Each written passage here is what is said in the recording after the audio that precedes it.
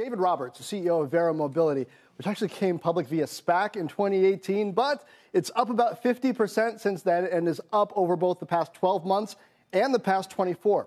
Verra's technology powers transportation like uh, technologies like red light cameras, automated speed enforcement, toll payments in rental cars, and digitized parking. Last earnings report, revenue was up 22%. Roberts brought the company public and actually grew up with a dad who ran a business. His dad had a big influence on him as a leader, and when his dad was diagnosed with cancer when David was 23, it reshaped his outlook. As my dad got sick, that was like an immediate like control delete moment that I call it, which is like, hey, we're going to redo this relationship. And so, what I would say is over the course of the last, oh, even 24 months of his life, you know, I was with, you know, after certainly after I graduated college, I was with him. Uh, I was learning from him as much as I could. Uh, and then as he got sicker and sicker, obviously I was just present for him. So what I would say is the ending of that story was a really great relationship. And, and I think what it did for me is one, I think it, uh, as I have, as I mentioned, I have four kids. I have two boys and two girls. It sort of gives me a much brighter line of, hey, I need to be connected to these kids much earlier. I'm not just sending them off on their way. I want to give them room to grow, but having a tighter connection. All right, right now on the business side, Roberts is focused on paying down Verra's debt and growing its influence in technologies connected to traffic and safety. Both are top of mind with people traveling more and governments needing revenue.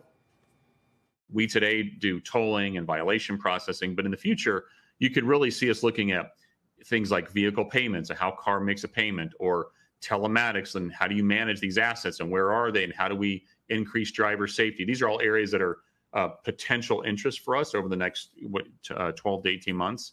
Um, and then if you look at on the urban mobility side, there's so many new things coming with a with a world of environmental awareness, things like congestion pricing, um, the increased attention to things like distracted driving. Those are big problems that we feel like we're really well suited to help drive uh, solutions for, uh, and we're excited at the challenge to do so. He said travel just remains extraordinarily strong, including business travel, which is interesting because a year ago people were still saying a big portion of that wouldn't come back. Verra's numbers on rental car tolls suggest otherwise. Two plus billion dollar market cap there. Four kids, can you believe it, Kelly? I, two boys, two girls. no, that's like no. I mean, the fact that he is the numbers that they've put up is incredible. They're literally a toll collector, which you know you always joke that you want to be um, yeah, it, it just it, it's impressive given some of the headwinds we're facing.